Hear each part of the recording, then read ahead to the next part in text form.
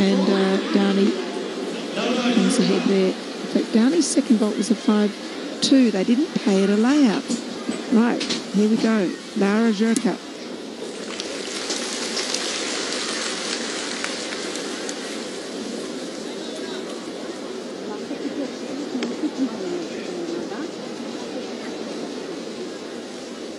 Round off. Yurchenko with a full twist.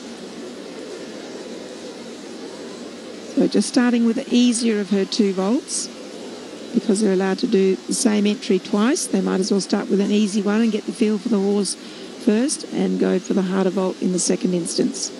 But back to Downie. Interestingly, I think she called a layout or she nominated a layout and perhaps only got paid the pike. Therefore, her difficulty score was actually lower than Miyakawa. The second vault, but the execution higher.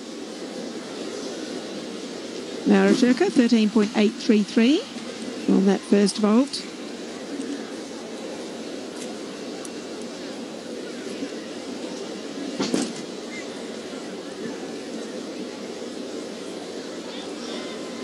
Second vault, she's going for a double twist, same entry, this time two twists in the post flight.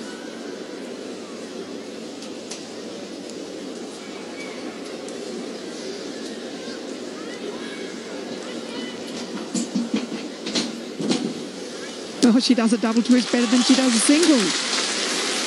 It's got much better dynamics. And maybe for the single, she's got to hold back just a little bit.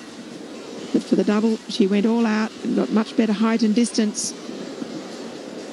And even better form in the air. Good transition with a round off onto the board. Keeps the speed going. Straight down the middle. Can't get much straighter than that.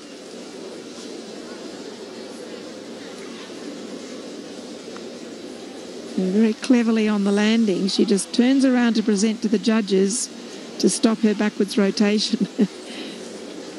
You'll have avoided somewhat some deduction in there.